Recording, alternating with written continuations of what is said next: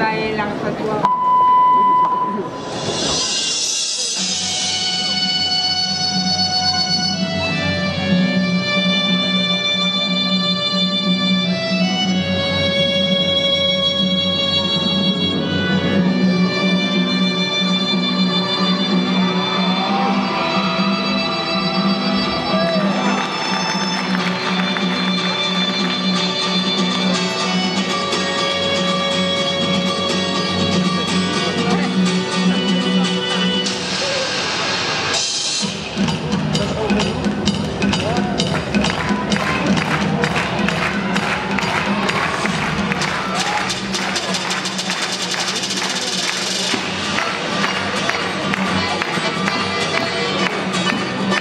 Thank you.